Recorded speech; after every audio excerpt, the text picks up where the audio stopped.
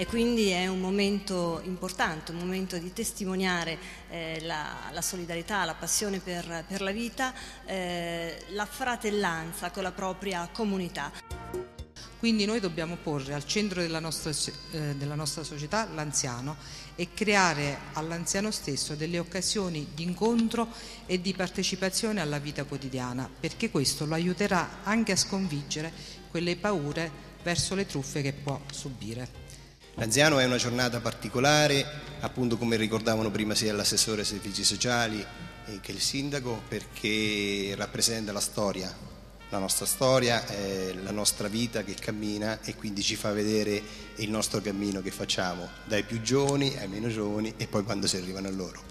Ogni centro eh, ecco, si raduna insieme a tutti quanti gli anziani per eh, programmare delle attività. Eh, poi c'è anche l'UTETE che è l'Università della Terza Età e ricordiamo anche eh, qui la figura eh, dell'UTEF e quindi il suo presidente che era appunto Gabriele Nepi che recentemente ci ha lasciato e che è stato sempre uno dei capisaldi proprio dell'anziano attivo, propositivo eccetera.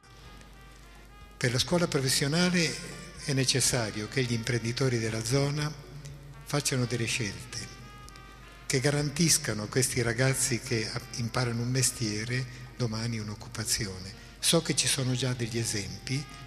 positivi e quindi eh, questa cosa la dico perché è positiva, perché sta crescendo una sensibilità, perché tra regione e privati e imprenditori accompagnati magari dalle considerazioni che possiamo fare noi, eh, perché più di tanto non possiamo fare, ci sia una sinergia tale che consente a questa scuola professionale di crescere. Quando iniziava l'opera eh, non aveva un becco d'un quattrino e quindi mandava i ragazzi stessi, orfanelli, nel, a, a fare un po' di provviste con i canestri e ritornavano pieni di, di ben di Dio e da quel momento tutta la città si è commossa per aiutare l'opera d'Orricci.